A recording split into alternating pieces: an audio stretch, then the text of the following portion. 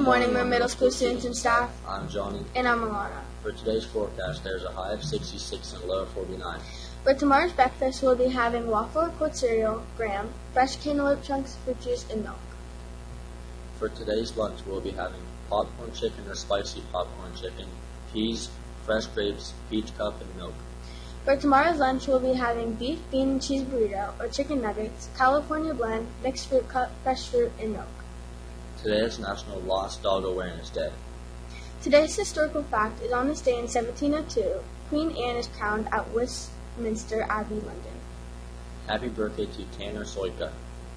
For Wellness Wednesday, don't forget to dress up in your athletic wear. Track meet at Edison tomorrow starting at 4.30. Let's, Let's be respectful. Have a twinning Tuesday, Weir.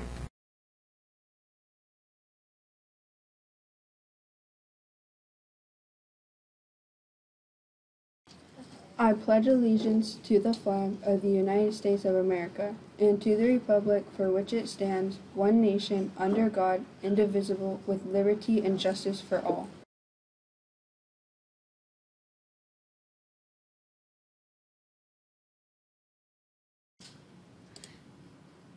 There are many benefits of friendship, one of which could increase your sense of belonging and purpose.